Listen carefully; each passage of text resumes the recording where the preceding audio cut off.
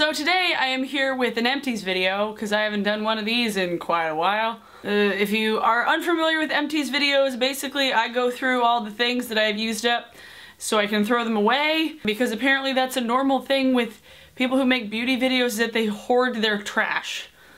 so I'll start with my most recent finished product and that is my Bumble and Bumble Surf Spray yeah, I, I, just finished it today. I'll probably buy the Lush Sea Spray, although I, I, I, really do like this one. It's just more expensive. It's lasted me probably close to two years. I mean, I there's a good chance I'll repurchase this just because I really, really like it. And, uh, I mean, it's not that expensive for how long it lasts.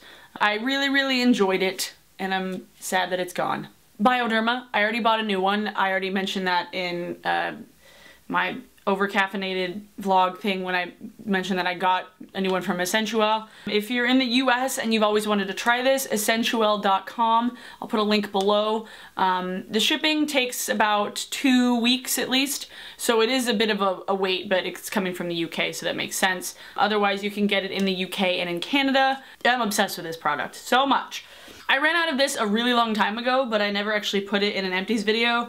And I figure since I really, really did like it a lot, I might as well mention it. This is the Dr. Jart Premium Beauty Balm, um, SPF 45. I got this with Birchbox points like a year and a half ago. It's it's all gone. All all of it's gone. It's was like 39 bucks at least.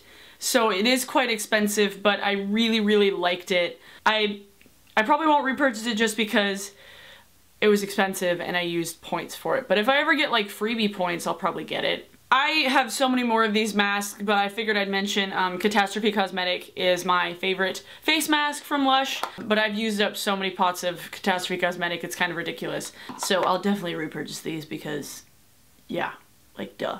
I did finish out, uh, finally, a pot of Ultrabland a little while ago. I have already repurchased a new pot of it.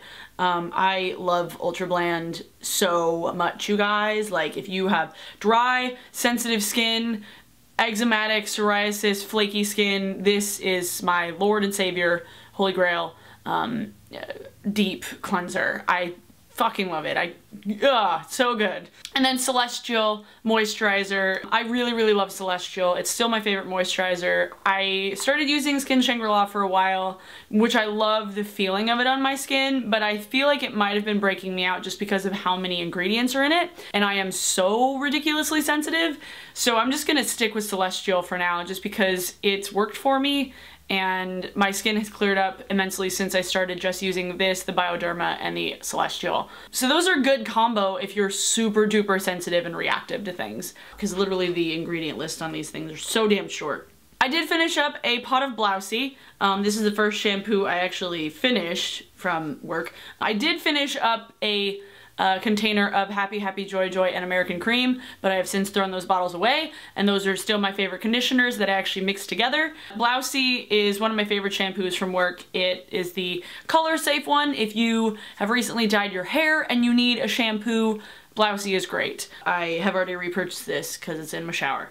Another hair product I have finished up recently is H'Suan Wen Hua. I love this hair mask. I will definitely repurchase it. I have a pot of Marilyn in my bathroom. This one has a shorter shelf life because it does have eggs in it. So when you do purchase this, intend to use it within like four months. So this has a four month shelf life where the Marilyn has a 14 month shelf life. But I love it and it makes my hair smell like chai for two days.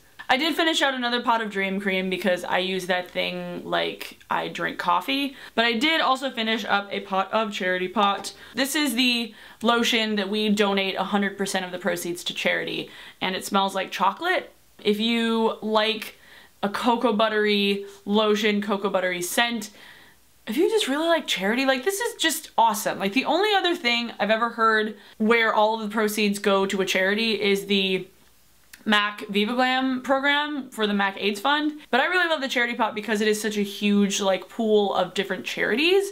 I don't know if you guys know this, but if you ever hear about like grassroots charities in your local area or from anyone specifically, you can always email Lush and go on the website and like recommend charities. But there's a ton of charities on the website that you can look at and um, and and recommend or whatever. So basically out of all of those products, I will be repurchasing all of them except the Dr. Jart. I do a lot of research before buying my things these days, and so I don't ever buy anything if I know that I'm not gonna love it. So those are all the things that I've recently used up and I get to now throw away. And let me know if you guys like these kind of videos.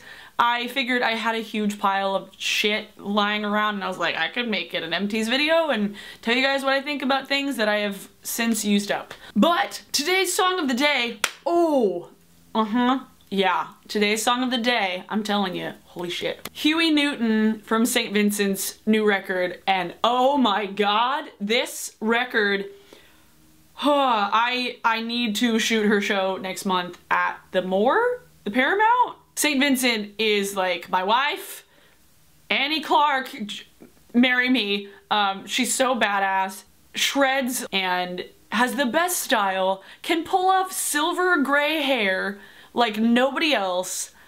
And that song is just my jam.